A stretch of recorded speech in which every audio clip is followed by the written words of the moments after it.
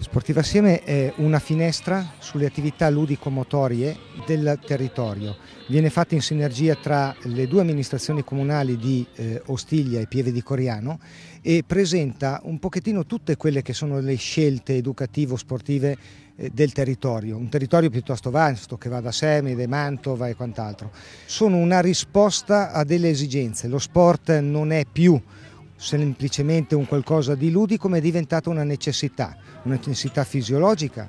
perché eh, risponde al bisogno di movimento che hanno i nostri ragazzi, i nostri ragazzi non hanno più la possibilità di muoversi, di giocare come facevamo noi una volta e hanno bisogno di un luogo strutturato, un luogo protetto dove possano sperimentare il loro corpo. Nello stesso tempo hanno modo di sperimentare delle regole hanno modo di sperimentare un modo di socializzare. Quindi lo sport è diventato quel contenitore dove i nostri ragazzi possono vivere in modo educativamente corretto il loro corpo. C'è il calcio, l'equitazione, eh, il volley, l'MMA,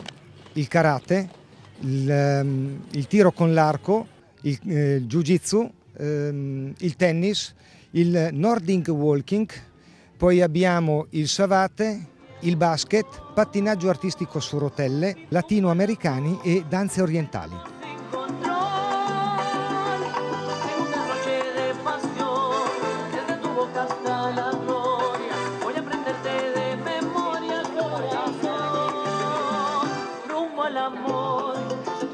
E sì, rivolto ai bambini perché possono divertirsi,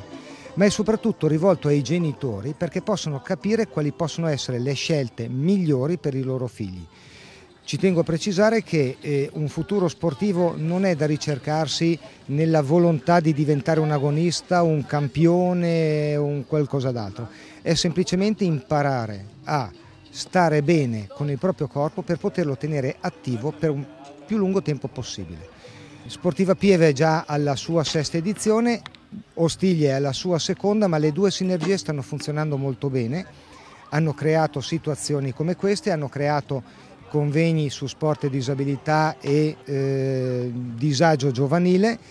e stiamo lavorando proprio perché eh, ai genitori del nostro territorio sia offerta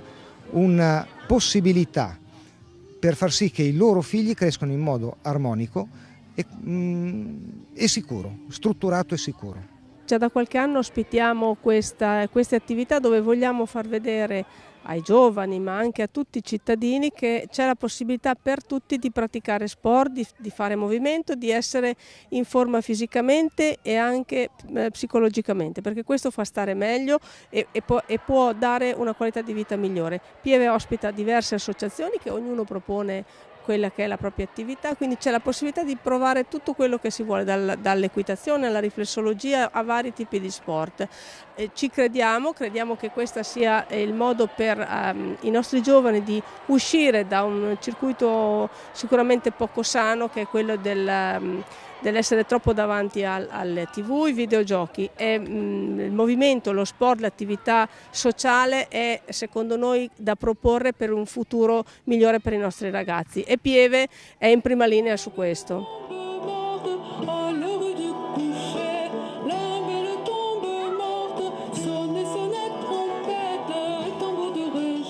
Ho voluto essere presente per un saluto, ma soprattutto per lanciare la seconda parte di questa iniziativa, quindi domenica prossima, il 13 di settembre. A differenza di oggi, ad Ostiglia sarà per le vie del paese, come è avvenuto l'anno scorso, e quest'anno allarghiamo anche con due vie in più, via Veneto, in particolare via Bertioli, in modo da creare l'anello caratteristico, di solito per la notte bianca o per la fiera, delle vie di Ostiglia, proprio perché ci saranno più associazioni rispetto all'anno scorso e quindi con una maggior voglia di mettere a disposizione le loro attrezzature, i loro istruttori per la promozione e l'esercitazione pratica delle varie iniziative. Speriamo nel bel tempo e speriamo in un'affluenza di tanti bambini e di genitori di tutti i cittadini ostigliesi, ma non solo.